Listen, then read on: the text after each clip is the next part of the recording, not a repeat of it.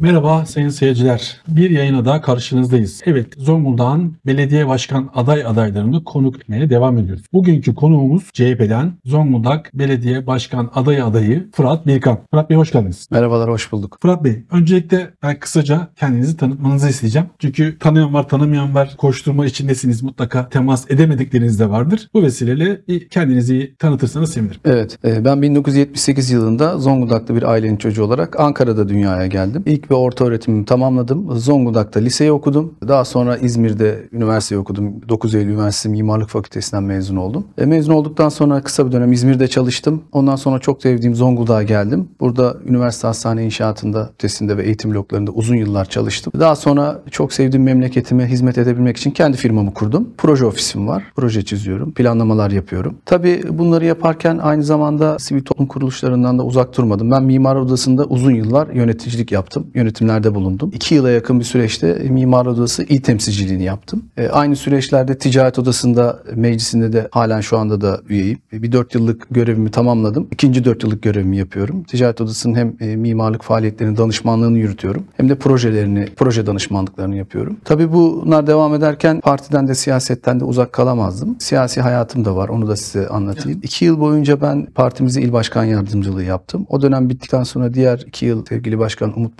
Başoğlu il başkanı olduğunda da il saymanlığı görevim oldu. İl saymanlığı görevimi tamamladım. Süreç buraya kadar geldi. Şimdi de aday adayı oldum. Hemşehrilerimizin karşısına çıktım. Bir belediye başkan meclis aday adaylığı da söz konusu oldu herhalde. Şöyle evet onu da kısaca söyleyeyim. Ben Mimar Odası il temsilcisiyken aynı zamanda da partimizde saymanlık görevim vardı. Fakat ben hep yerel yönetimleri istedim. Yerel yönetimlerde görev almak istiyordum ve yerel yönetimlere de kendimi çok yakın görüyorum ve mesleğim icabı da çok uygun. Bu nedenle ben e, hem saymanlık görevimden hem de e, Mimar Odası il temsilciliğinden istifa ettim. Belediye meclis üyeliği için başvurdum. E, fakat o dönemde olmadı. Uygun görülmedi. Fakat yine de ben tekrardan devam ettim. Hem işlerime hem siyasi hayatıma. Şimdi de belediye başkanı adayı olarak karşınızdayım. Aday adayı olarak. Aslında özeti herhalde hizmete adayım mı? Evet, evet, evet. Peki bir sloganla yola çıktınız. Aslında çok da dikkat çektiniz. Zonguldak'ın aslında en temel sorunlarından birini dolaylı yönden vurgu yapmış oldunuz. Evet. Nedir? İşte Zonguldak'a bir mimar lazım. Gerçekten tırnak içinde yaşanabilir bir Zonguldak için mimar lazım olduğunu herkes söylüyor. Bu sloganın alt içine doldurursak niye, nereye lazım, niye lazım mimar? Bunu bir açıklama getirsin. Evet çok teşekkür ediyorum bu soruyu sorduğunuz için. Çünkü önemli. Biliyorsunuz şehrimiz durumu şu anda şehrimizin durumu aslında işler acısı. Trafik sorunumuz var. Yapılarla ilgili sorunlarımız var. Yapısal sorunlarımız var. Altyapı sorunlarımız var. Ee, Bunların hepsinin aslında zamanında çözülmesi lazım. Bunlar önceki dönem belediye başkanlarımız zamanında bunlara dokunuşlar oldu. Mutlaka yapıldı, yapılanlar oldu. Yollar yapıldı, altyapılar yapıldı. Ama biz eksik görüyoruz. Eksik noktaları çok. Biz bu ilk önce eksik noktaları tamamlamamız lazım. Yani bu şehre bir mimar lazım derken bunu da kastediyoruz. Yani biz aynı zamanda sosyal belediyeciliğin de mimarı olacağız. Biz aynı zamanda sevgi ve kardeşliğin de mimarı olacağız. Biz belediye ile halkı barıştıran bir yönetimin mimarı olacağız. Yani mimar sadece meslek olarak almasın vatandaşlarımız. E, Biz bunları başaracağız. Bunlarla bir araya geleceğiz. E, Mesela biliyorsunuz şu anda yeni bir imar planı yapıldı. Mevcut belediye bir imar planı çalışması yaptırdı. E, Ve yaklaşık 3000'e yakın itiraz geldi. Bu çok büyük bir itiraz. Çok büyük bir itiraz sayısı. Yani bu ne demek? Paydaşları ve halkı planlamanın içine sokmadığınız zaman buna herkes itiraz eder. Biz o zaman da mimar odası olarak ben yönetimindeydim. Başkanımız açıklamaları yaptı. itirazlarımızı yaptık. Bakın gelin bu yanlıştan dönün dedik. Bu yanlıştan dönün. Bu işi düzeltelim. E, fakat maalesef tek adam yönetimi anlayışı tüm Türkiye'ye sirayet etti. Maalesef bizim belediyemizde de böyle bir anlayış oldu ve itirazlar, önceki itirazlarımız e, dikkate alınmadı. Süreç buraya doğru yürüdü, evrildi. Biz planda da yanlışlıklar olduğunu biliyoruz. Nasıl düzeltileceğini de biliyoruz. O yüzden bu göreve çok rahatlıkla talip olduk. Yani ilk önce bakın her şeyden önce planlama çok önemli. Bir şehri veya bir beldeyi veya bir şirketi iyi yönetmek, kurtarmak planlamadan geçiyor. Doğru planlama yaparsak her şey onun üzerine kuruluyor ve doğru yürüyüşlerle gidiyor. Günü kurtarmak değil, Hayır tabii uzun vadeli. Uzun vadeli, uzun vadeli ve ben sevgili hemşerilerime de bunu söylüyorum. Ben bu göreve gelirsem en az iki dönem görev yapmak istiyorum. En az iki dönem hizmet etmek istiyorum. Ee, başlayacağım projeleri tamamlayıp üzerlerine katmak istiyorum. Ve iki dönemin sonunda da gelecek olan genç arkadaşlarımıza bu görevi teslim ederek yine Cumhuriyet Halk Partisi'nin bayrağını gönlerde dalgalanır bir şekilde bırakmak istiyorum. İki dönem tabii dediğiniz iki dönem içinde toparlarım, iki dönem içinde mimari açısından, işte sosyal açıdan toparlarımın da bir iddiası mı? Tabii ki. Yani biz biliyorsunuz bir eylem planı yapıyoruz. Onu da şöyle yapıyoruz e, anlatayım. Şimdi halkın arasına indik. Uzun süredir sivil toplum kuruluşlarıyla görüşüyoruz. Pazarda geziyoruz. İşte şoför esnafımızın yanına gidiyoruz. Halktan geri dönüşleri alıyoruz. Ve bu geri dönüşlerle oluşturduğumuz bir eylem planı var. Bu eylem planımızı projelendirmeye başlıyoruz. Yani biz her zaman şunu söyledik. E, Ben değil biz yapacağız. Ben yaptım oldu zihniyetine karşıyız. Halkımız ne talep ediyorsa biz de belediyemiz olarak onu yapacağız. Başta halkımız bizden şunu istedi. Yani konfor istiyor halkımız. Yani halkımızın konforunu arttıracağız. Çok büyük projeler, çok büyük çaplı, devasa projeler hiç isteyen olmadı açıkçası şimdiye kadar. E, önemli olan halka dokunmak. Bakın pazara indik, esnafımızın yanına indik. İnsanlar elinin sıkılmasını istiyor. İnsanlar omzuna dokunulmak istiyor. İnsanlar makama geldiği zaman rahatça girebilmek istiyor. Biz bunlardan derslerimizi çıkardık, notlarımızı aldık. Biz yönetime geldiğimiz zaman da aldığımız notlara göre bu şekilde yöneteceğiz. Peki yani imar planı ile ilgili itirazlardan bahsettiniz. Çalışma Evet. yaptığınız çözüm önerilerinden birkaç anekdot verebilir misiniz? Yani ne yapmak lazım ki bu itirazları azaltmak veya vatandaşın gönlüne girmek, vatandaşın da itirazlarını azaltabilmek için ne yapmak lazım? Şimdi şöyle tabii bu da bir bilim dalı. Şehircilik bilimi, şehir bölge planlama ayrı bir bilim dalı. Burada yoğunluk hesapları var, insan sayıları var, sosyal donatı hesapları var. Burada bazı hesapları belediye alırken sayıları ve bilgileri daha geniş tuttu, daha değişik aldı ve bu yüzden yoğunluklar fazlalaştı. Bu yoğunluklar fazlalaştığı için kat sayıları, bina oturum alanları bazı bölgelerde değişti. Bunlarla ilgili e, büyük itirazlar geldi. Bu itirazları değerlendireceğiz. Bazı bölümlerde dikkat edilmedi, bakılmadı bilemiyorum. E, Büyük alanlar sosyokültürel alan ve yeşil alana dönüştürüldü. Bazı yerlerde tam tersi yapıldı. Bunlarla ilgili itirazlar zaten belli. Bu itiraz dilekçelerine göre bunların çoğu düzelebilir, çoğu düzeltilebilir. Halkın daha kullanımına açık, uygun yerler yapılabilir. Bu yönde çalışmalarımız var. Bunu bir şekilde çözeceğimize inanıyorum. Peki başlıca sorunlar desem sizin tespit ettiğiniz ve halktan gelen o ilk temaslan temas sonucu halktan gelen Zonguldak'ın ilk temel sorunları bugün yarın belediye başkanı oldunuz. İlk başlayacağınız en temel sorunlar nelerdir? Evet. En temel sorun şu. Halkımız belediyeye ulaşamadığını söylüyor. Yani biz beyaz masaya gidiyoruz. işte oraya gidiyoruz. Buraya gidiyoruz. Biz başkana ulaşamıyoruz. Biz kendimizin sözümüzü dinletemiyoruz. Bizim şikayetlerimiz dikkate alınmıyor. Büyük bir şikayet, en büyük şikayetlerden biri bu. Tabii ki belediyemiz yollar yapılıyor, altyapı yapılıyor, eksikler var. Mesela yollarımızı yapmışız, hiç kaldırım yapmamışız. E, yollarımızı yapmışız, kaldırım yapmışız ama bir bölgede yağmur suyu çalışması yapmamışız. İşte sular ortadan akıyor. E, İşte bir yağmur yağıyor, merdivenlerden şelaleler akıyor. İşte kaldırım taşları asfaltın içine giriyor, yollar patlıyor. Bu tarz bakın bunlar aslında çok küçük ufak dokunuşlar. Halkımız bunları istiyor. Biz bunlarla başlayacağız. Ve biz şunu da gördük. Belediye çalışanlarımız bence çok kalifiye insanlar var, çok değerli insanlar var, çok da tecrübeli insanlar var. Yani projeye bakmadan bile rögar nerede, boru nerede, altyapı nerede gerçekten personelimiz hepsini biliyor. Fakat personelde bir motivasyon düşüklüğü var. Bu motivasyon düşüklüğü çok önemli. Yani şöyle söyleyebilirim. %30 ve %40'la çalışan bir motivasyon var. Biz bunu %90'a %100'e çıkartacağız. Biz arkadaşlarımıza dokunacağız. Yönetim sürecine belediyedeki çalışan arkadaşlarımızı da alacağız. Karar mekanizmalarını onları da alacağız. Böylece e, belediyeyi inanılmaz derecede aktif hale geliriz. Bu aktiflikle de zaten göreceksiniz. Bu hız e, iki dönem boyunca devam edecek ve Zonguldak'ın çehresini değiştireceğiz. Yani az önce de ilk başta söylediğiniz gibi bireysel değil ekip halinde Evet. ekibi harekete geçirecek. Tabii ki çok önemli. Anladım. Peki e, tabii en büyük sorunlardan bir tanesi de hep şey diyoruz. Düzensiz yapılaşma, imar sorunu. Bununla ilgili değişik. Daha önceden de İsmail Eşref'in de bir projesi vardı. Şehri genişletmek, işte Gaca tarafını genişletmek gibi gibi. Bu e, düzensiz yapılaşma ile ilgili önerileriniz, projeleriniz neler? Yani şimdi tabii mevcut yapıları toparlayıp düzeltmek biraz da mülkiyet sorunuyla alakalı. Yani he- herkesin bir mülkiyeti var. Bir kentsel dönüşüm alanı mesela bizim ilimizde ilan edilmedi. Yani şimdi kentsel dönüşüm yapılıyor diye biliyor insanlar ama genelde bir bina yıkılıp o bina tekrar yeniden yapılıyor. Bu aslında kentsel dönüşüm değil. Bu binaları dönüştürmek, binaları daha güçlü hale getirmek. Ee, biz kentsel dönüşüm alanı da ilan etmeyi düşünüyoruz. Yani bazı bölümleri, bazı alanları kentsel dönüşüm alanı ilan ederek burada işte belediye organizasyonu olur. Bunun içine valilik girer. Bunun içine çevre şehircilik il müdürlüğü girer. Bunlarla birleşik paydaşlarla beraber e, daha ucuz konut. Bakın önemli olan bu. Ucuz ve sağlıklı konut yapabilmemiz lazım. Biz belediye olarak ucuz ve sağlıklı konut ürettirebilirsek bu bizim en büyük başarımız olacak. Yani şöyle sorunlardan bir tanesi de şu. Malum deremiz var, denizimiz var, yeşilimiz var. Ama Karadeniz boyunda belki de en kötü çevreye sahibiz. Kirli, yani denizimiz kirli, çevremiz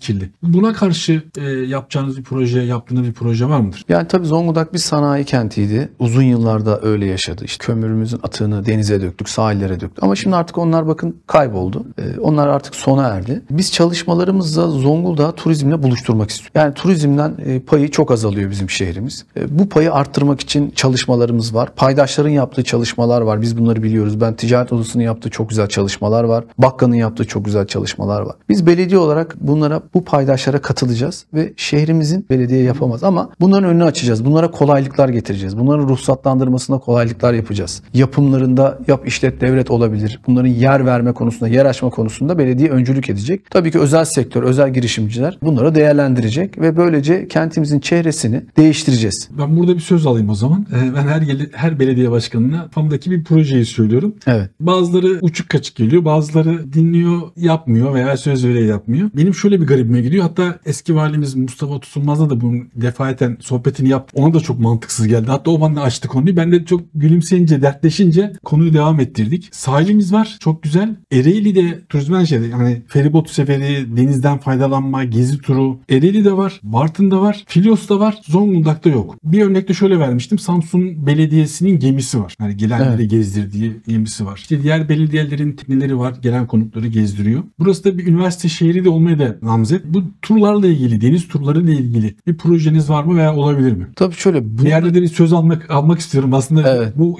dediğim gibi benim de içinde bir ukdedir. Belki de 15 yıldan beri bunu hep dertliyorum, söylüyorum. Çok masraflı bir şey de değil. Belediyenin yapmasına da gerek yok. Belediye önünü açsa zaten. Girişimci bunu yapar zaten. Giden valimiz de çok içerlemişti. Bir gezdirememişti bunu yatla atla. Evet. Bu anlamda bir tür düşünceniz olur mu veya var mı? Tabii ki olur. Yani biraz önce de ifade ettim. Biz belediye olarak zaten imkanı sağlayacağız. Bununla ilgili özel sektör girişimcileri, kamu girişimciliği de olabilir, özel sektörde olabilir. Biz her zaman buna açığız. Yani yapılmayanı yapmak önemli. İyi bir şeyler yapmak önemli. Bununla ilgili fizibilite çalışmalarımızı yaparız ve belediye olarak ne gerekirse de destekleriz. Yani çok da güzel olur. Neden olmasın yani? Fikriniz de yabana atılacak bir fikir değil. Bir sorun da tabii gitgide artan bir sorun aslında bu. Otopark sorunu malum. Yani Zonguldak'ın gittikçe daha fazla otoparka ihtiyacı var. Çünkü inanılmaz derecede bir araba artışı var. Bunu azaltamayız malum. Azaltamayacağımız için. Otoparkları artırmamız lazım. Bunun için bir projeniz var mı? Artı Lavaralı'nın projesi malum ilk başta Sayın İsmail Eşref'in ilk yaptığı projede 450 oto araçlı parktı. Sonra Sayın Selim Alan çıktı ben 550'ye çıkaracağım dedi. Sonra alt ilk ihale oldu. İhale olduktan sonra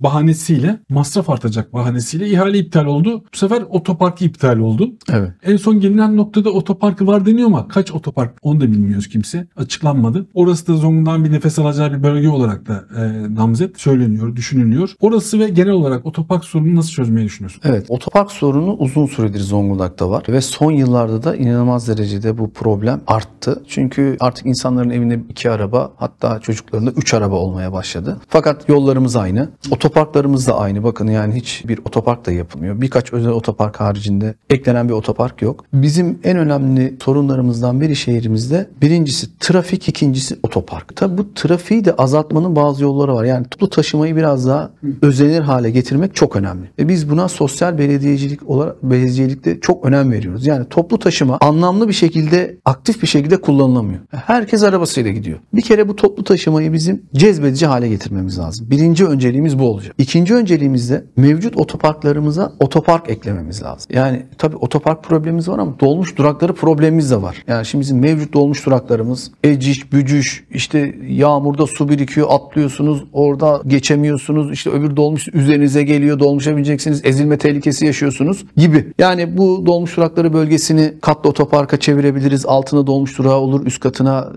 sosyete pazarı gelir, onun üstü otoparklar olur. E, Bunlarla ilgili düşüncelerimiz, planlarımız var. Bunları yapacağız. Ama tabii bunları yaparken bakın plan bütünlüğünü bozmadan ilk önce şehir planlamasını düzgün yapacağız ve bu planlamanın içinde olacak. Biz bunu her zaman sorduk mimarlar odası olarak. Hala da soruyoruz. Ben de bu makama gelirsem bakacağım. Şimdi her yapıdan bir otopark bedeli alıyor belediye. Bu otopark bedelini de almasının nedeni belli bölgelere toplu şekilde otoparklar yapıp oradaki e, otopark ihtiyacını gidermek. Bu uzun yıllardır bu dönemde, ondan önceki dönemde geriye doğru gidebiliriz. Her dönem alınan bir ücretler var ve e, bu ücretlerin otopark yapılması için alındığı da biliniyor. Meclis de biliyor, belediye meclisi, başkanlar da biliyor. Bu paralar ne oldu? Buna bakacağız. Bu paralar duruyor mu? Bu paralar duruyorsa bunlarla kullanıp otopark hemen yapımına geçeceğiz. Durmuyorsa nelere harcandı, neden harcandı bunları soracağız. E, Çok önemli bu bakın yani çok önemli. Yani ne yapıyoruz? Biz bir bina yapılıyor. İşte 10 tane otoparka ihtiyacı var ama 3 tane otopark yapabiliyor. 7 otopark bedelinin parasını belediye ödüyor. Belediye de bu bedelleri alıp alıp toplu bir otopark yapacak. Fakat biz böyle bir otoparkı görmüyoruz. Yok. E tabi olmayınca ne oluyor? İnsanlar araçlarıyla çarşıya geliyorlar. Kent merkezine. Bir yere koyamıyorlar arabalarını. İşte kaldırımlar, işte Kadırga yokuşuna kadar her yer araba, kaldırımların üstü araba. E, e tabi o zaman bizim devletimize sıkıntıya giriyor. Polisimiz artı fazla mesaiye başlıyor. İşte zabıtamız fazla mesaiye başlıyor. Yani herkes için bir sıkıntılı bir durum. O yüzden otopark sorunu yani önemli olan otopark sorununu çözmek için planlar yapmak. Bu planlar bizde var. Belediyenin de gücü var. Bu güçle gidip otopark otopark sorununu halledeceğiz ve TUTAŞ'ımaya da bir şekilde iyileştirme getirip e, bunu önceleyeceğiz. Yani o sorun tabii kent merkezinden ön, kent merkezinde başlamıştı otopark sorunu. Dediğiniz gibi şey artık mahallelere çıktı. Mahallelerde herhalde bina yaparken belli bir tür 30 dairesi 30 dairelik park yapılmak zorunda mı? 30 daire değil o şöyle yani 3 artı 1, 2 artı 1, 1 artı 1'e göre gidiyor. Bir de metrekareler var. Bütün daireleri 3 artı 1 yaparsanız tabii daire adedi kadar otopark yapmanız zorunlu. Ama 2 artı 1 ve 1 artı 1 de metrekare bazına iniyor bu. Daire kadar yapmıyorsunuz. 3'te 1'i kadar, 2'te 1'i Şartı kadar. bir de olsa yapılmıyor mesela. Bunu nasıl uyduruyorlar? Nasıl yapıyor? Şöyle oluyor. Yapılan bedel yapılan kadar kısmı düşürüyor. Yapılmayan kısımla ilgili bir belediye bir bedel alıyor. Bu bedeli de şunun için alıyor. Sen diyor buraya apartmanına komple herkese otopark yapmadın. Bize bu bedeli ödeyeceksin. Biz de yakın bir alana toplu otopark yapacağız. Oradaki insanlar bu otoparka koyacaklar. Böylece sorun çözülecek. Yok. Evet. Ama Plan bu. plan bu. Hiç uygulayan yok. Uygulayanı görmedik. Biz, siz bunu Biz bunu takipçisi olacağız. Neden uygulanmadığına bakacağız. Biz İstanbul Büyükşehir Belediyesi'ne gideceğiz, Ankara'ya gideceğiz. Eskişehir Belediyesi bizim Çaycuma Belediyesi'ne gideceğiz. Sayın Bülent Kantarcı ile görüşeceğiz. Bunlar nasıl uygulamışlar? Neden Zonguldak'ta uygulanmıyor? Zonguldak'ın bu kaderi mi yani? Bu olmuyor diye kimse yapmıyor mu acaba? Zaten yoktu ben de yapmayayım mı deniyor. Ne oluyor? Bunları araştıracağız. Yani biz bunu çözeceğiz. Çözmek için geliyoruz. işte mimarı yönetecek belediye başkanına ihtiyacı var gibilerinden bir söylem oldu. Bizim hatta belediyede çok mimar var. Bunları da yönetecek başkana ihtiyaç var gibilerinden bir açıklaması oldu. Ne dersiniz bu açıklamaya? Evet bu açıklama gösteriyor ki biz doğru yolda gidiyoruz. Düzgün işler yapıyoruz. Düzgün yerlere dokunuyoruz ki e, bizlere de cevaplar geliyor. E, tabii ben tüm meslek gruplarına çok saygılıyım. Bunu başta ifade edeyim. Doktorlar, avukatlar, mühendisler, mimarlar, öğretmenler daha sayamadığım e, bütün meslek gruplarına çok saygılıyım. E, biz biz yönetmeye değil biz liderlik yapmaya gidiyoruz. Tabii ki bizim e, belediyemizde e, çok değerli teknik personel var. Çok değerli belediyemizin işçileri var. Temizlik işçisinden birim müdürlerine kadar hepsi çok değerli. Biz buradaki arkadaşlarımızı sevgiyle kucaklayacağız ve onlara liderlik yapacağız. Biz bizim amacımız bu. Daha önce de bahsetmiştim. Biz sevginin mimarı olacağız, dostluğun mimarı olacağız, sosyal belediyeciliğin mimarı olacağız. Hiçbir şekilde de ayırmayacağız. Ben yönetirim, ben yaparım, benim dediğim olur. Hayır öyle değil. Bizim dediğimiz olur. Bizim bildiğimiz olur ama personelimizle beraber, çalışanlarımızla beraber. Şimdi e, malum değişik eleştiriler var. Değişik eleştiriler var malum belediye başkanına karşı ve bundan önce de ben oldu. Şehir şehir dinlenmiyor. Ortak akıl ortaya çıkmıyor. E, tek adam zihniyetiyle e, Zonguldak Belediyesi yönetiliyor. Tek adam olduğu için de e, ortaya işte kötü sonuçlar çıkıyor veya tek kişinin dediği oluyor e, gibilerinden bir eleştiriler var. E, buna karşı siz belediye başkanı olursanız eğer e, ne yapmayı düşünüyorsunuz? Nasıl yol harita çizmeyi düşünüyorsunuz? Evet teşekkür ediyorum. Zaten merkezi hükümetten başlayıp yerele doğru inen bir tek adam politikası devam ediyor. Biz parti olarak da buna her zaman karşı çıkıyoruz ve karşıyız. E, Bizim e, yönetim anlayışımızda paydaşlarımızla beraber karar vermek, birlikte ortak akıl yürütmek. Bakın süreçlere paydaşları sokmazsak, şehirde yaşayan sivil toplum kuruluşlarını sokmazsak, esnaflarımızı sokmazsak, muhtarlarımızı sokmazsak, hemşeri derneklerimizden sokmazsak, siyasi parti liderlerinden fikirler almazsak yanlış şeyler. Bunları hep gördük. Bu şimdiki yönetimde bunları gördük. Bizim de amacımız o. Sloganımızda da var. Yani ben yapmayacağım, biz yapacağız. Biz birlikte karar vereceğiz E, ve ona başladık. Biz ilk muhtarlardan başladık. Çok önem veriyoruz. Çünkü muhtarlar burada bizim mahallelerdeki sinir uçlarımız. E, halkımız tabii ki başkana ulaşamayabilir, işte valiye ulaşamayabilir ama kime gidiyor? En, kimi tanıyor? Muhtarı tanıyor değil mi? En ufak bir şey muhtara gidiyor. O yüzden biz muhtarlarla bunları konuştuk. Devam ediyoruz. Konuşmaya da devam ediyoruz. E, bu geri dönüşleri alacağız. Bakın belediye başkanlığı süresi 5 yıl. 5 yıl kısa bir süre. Kısa bir süre. Bu kısa bir sürede bu geri dönüşlere karşılık vermezsek halkımız da cevabını sandıkta verir. Ben inanıyorum ki bu yerel seçimde halkımız en doğru kararı verecek. Bu ve bu en doğru karara da biz iktidara geleceğiz belediyede ve halkımızın istediği sorunlardan başlayacağız. Bunu açık ve net ifade ediyorum. Önceliğimiz bu olacak. Peki belediye başkanı olursanız Ankara daha doğrusu Ankara ile temasınız nedir? Nedir? Hizmet getirme anlamında sıkıntı yaşar mısınız? Mesela bir İstanbul Büyükşehir Belediye Başkanı, Ankara Büyükşehir Belediye Başkanı, diğer diğer belediye başkanlarıyla olan diyalogları nasıl kuracaksınız? Bazı belediyeler oluyor malum. Kardeş belediyecilik Evet, anlayışıyla. Karşılıklı hizmetler geliyor gidiyor. Evet. E, Zonguldak'ta da oldu. İstanbul Büyükşehir Belediye Başkanı bir Evet. önceki dönem Selahattin Gonca Bey e, park yaptırmıştı. Hı hı. E, şu anda malum İstanbul Büyükşehir Belediye Başkanı CHP'de. Bu konularda girişimleriniz olacak mı? Bir temasınız olacak mı? Evet tabii ki olacak ama ilk önce bunu bölgemizde yap. Bakın Zonguldak Belediyesi, Devrek Belediyesi, Çaycuma Belediyesi, Ereğli Belediyesi, işte Gökçebey Belediyesi. Bizim zaten amacımız e, tüm ilçe belediyelerini almak. Biz tüm ilçe belediyelerini ve Zonguldak'ı alacağız. İlk önce biz ilçe belediyeleri arasında bir gerçekten birlik oluş, bir güç birliği. Çünkü sizin alet edevatınız farklı, ilçe belediyesinin farklı bir şey olduğunda bunlar birlikte kullanılacak, projelere yardımlarda bulunulacak. Bunlarla ilgili zaten vekillerimizin düşünceleri var. Vekillerimiz bu konuyla ilgili düşünceleri ve görüşleri var. Bunları biz, biz konuşuyoruz. Parti içinde konuşuyoruz. Ee,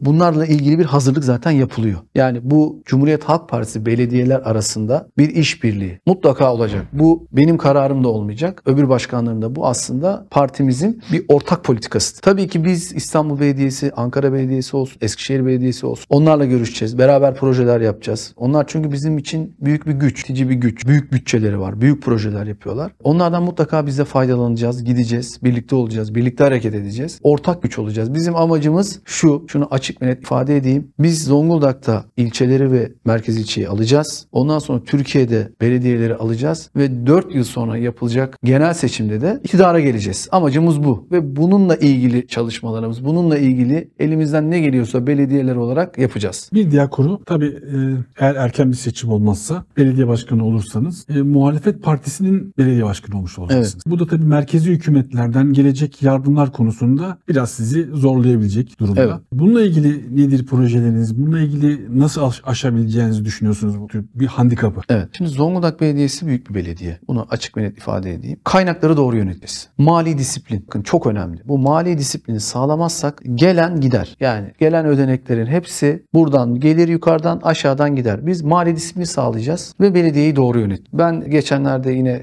bahset Sayın Bülent Kantarcı ile de görüştüm. Çaycuma Belediye Başkanı. O da aynısını. Yani hiç korkma. Belediyenin gücü var. Büyük. Önemli olan mali disiplin ve doğru yönetim. Biz mali disiplin ve doğru yönetimle tüm kaynakları belediyemiz olarak sağlarız ve halkımıza da hizmetimizi yaparız. Hiç kimsenin bir korkusu, endişesi olmasın. Muhalefet olmanın Hiçbir handikap değil. Çünkü bakın yapılan bazı projelere bakın Zonguldak'ta zaten belediye yapmadı. Bunları merkezi yönetim yaptı. E, Merkezi yönetim yapmasına rağmen işte biz meclis üyelerimizden de duyuyoruz. Belediyemizin borç yükü katlandı. E, Neden katlandı? Bunlara bakacağız, oturacağız. Bir yatırımlar, bir büyük çapta bir yapımda olmadığı halde borç yükümüz katlanıyor. E, Demek ki hatalar var. Yapılmaması gereken şeyler var. Bunları tespit edip hemen bunların önlemini alacağız. Tabii başından beri sizi aday göstereceklermiş gibi bir sohbetimiz var. Tabii bir- önünüzde bir süreç var. CHP aday adayı bir süreci var. Evet. Diğer rakip arkadaşlarınızla ilgili öyle bir polemiğe girek de, girecek de bir açıklamalarda bulunmadınız. Bu konuda biz ben sizi tebrik ederim hakikaten. Evet, teşekkür Bu süreci nasıl görüyorsunuz? Artı bir ön seçim yapılsın yapılmasın diye bir içeride bir polemik var anladığımız Evet. kadarıyla CHP içinde. Bu konuya nasıl bakıyorsun? Evet. Soruyu sorduğunuz için teşekkür ederim. Aslında ben bunu söyleyecektim fakat unuttum. Bizim 7 tane aday adayı arkadaşımız da ben de dahil hepsi birbirinden değerli. Hepsi de benim büyüğüm. Hepsine de çok büyük saygım var. Hepsiyle de görüşüyorum. Bizim partimizde hani böyle şeyler olmaz. Biz aday adayları hepimiz birlikteyiz. Aramızdan kim aday çıkarsa da onun arkasında olacağız ve bizim amacımız CHP'nin bayrağını göndere çekmek. Tek amacımız bu. Aday adaylığı süreci ben aday adaylığı sürecine aslında adaymış gibi başladım. Açıkça açık ve net ifade edeyim. Ben sokağa da indim. Bütün kurumlara gidiyorum. Sivil toplum kuruluşlarına gidiyorum. Çalışmalarıma ben neredeyse işte bir ay oldu. Devam ediyorum. Adaymış gibi devam ediyorum. Fakat bu Cumhuriyet Halk Partisi'ne yarayan bir şey. Ben partim için gidiyorum. Ben Fırat Birkan olarak gitmiyorum. Ben Cumhuriyet Halk Partisi aday adayıyım. Fırat Birkan değilim. O yüzden ben partim için çalışıyorum. Benim yaptığım çalışma partime yarar. Benim yaptığım çalışma hangi aday adayı arkadaşımız aday olursa ona yarayacak. Ki ben de zaten onun yanına oturacağım. Beraber birlikte gideceğiz ve biz bu seçimi alacağız. Çalışmalarımızı bu yönde devam ettiriyoruz. Ben hiçbir zaman işte aday olamazsam böyle olamazsa böyle olamazsa demiyorum. Bu uzun bir maraton. Ben uzun bir maratona çıktım. Uzun maratonda koşmaya devam ediyorum. Söylemek istediğiniz, vermek istediğiniz mesaj Zonguldak halkına olsun,